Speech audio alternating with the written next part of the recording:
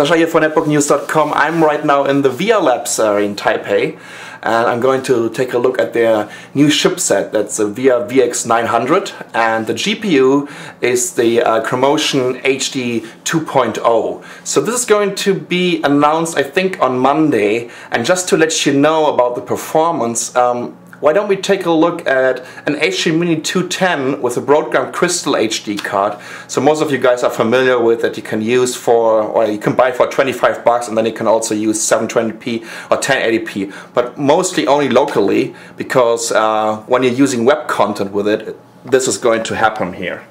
So here is this little HP Mini 210 with a Broadcom card, the uh, Broadcom Crystal HD. Now look at this. That's a 720p uh, video, the Avatar trailer. And here we go. So here's the frame rate.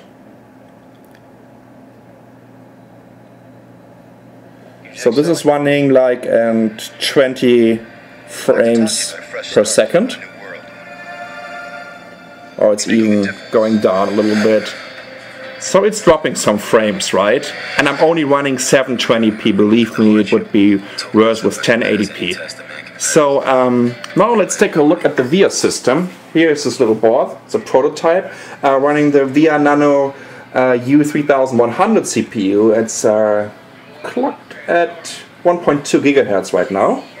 So, and here is the same video, Avatar, this one, 1080p. And uh, yeah, let's take a look at this.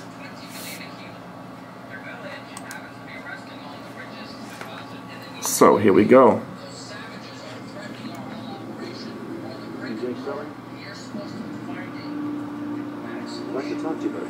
So this is running at about, I would say 23, between 25 frames per second. And here's the CPU usage.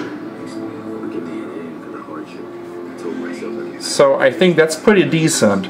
By the way, we would see the first systems uh, of it uh, during Computex. You should see a couple of uh, net tops and even netbooks with this. But I think in general VIA would mainly aim uh, at net tops. And of course the motherboard would be a little bit smaller then.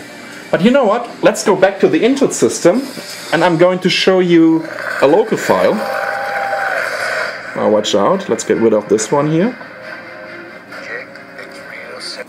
Here we go, let's close this browser to save all the system resources that are available. And uh, I think it was this one here. Okay, here we go. This is a huge 1080p file uh, running at, oh, the bitrate is 80 megabytes uh, per second.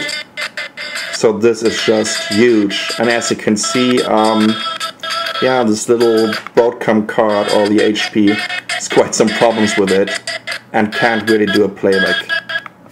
Now let's go back to the VIA system again. Here we go.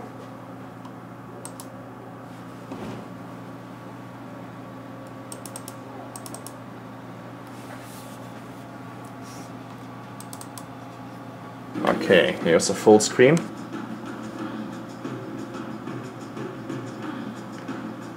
So this is running smooth as silk. And look here at the CPU. It's always below 50%.